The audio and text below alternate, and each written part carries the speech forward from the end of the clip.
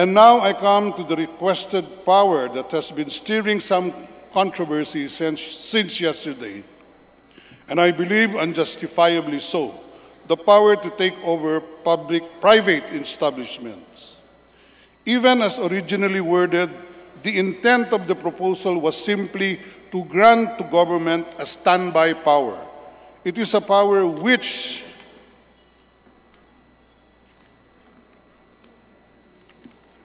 do not consider necessary to be exercised at all time because the establishments that are needed to deal with this crisis have, to their credit, been mostly cooperating with government.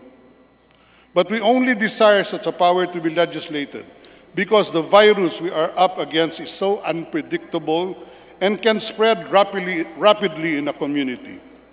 The power to take over is intended merely as a standby power in the event the crisis reaches its worst.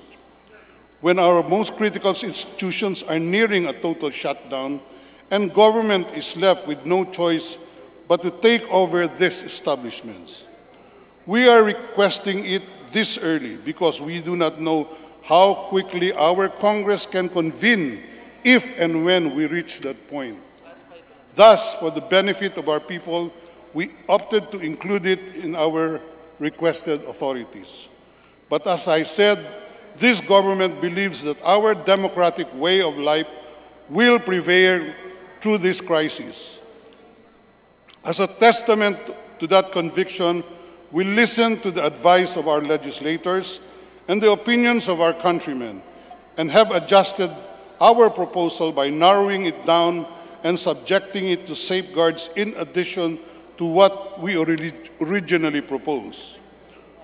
We hope our modified proposal would now merit our legislators' approval and our people's wholehearted consent.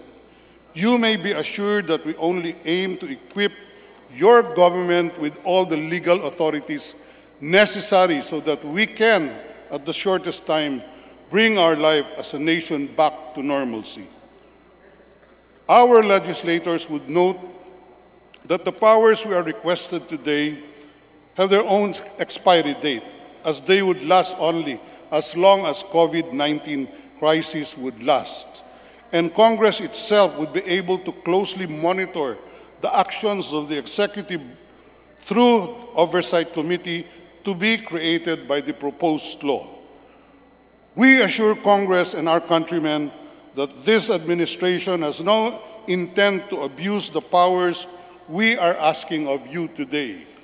The President and his administration has no intention at all to use these powers to its own advantage, but only for our people's advantage. Your advantage simply, your administration simply desires to be equipped with all the legal authorities necessary for us to serve our people during this crisis in the most expeditious way and to bring an end to this national order at the soonest possible time. All the while remaining true to our democratic institutions, abiding by the rule of law, and upholding the supremacy of the Constitution.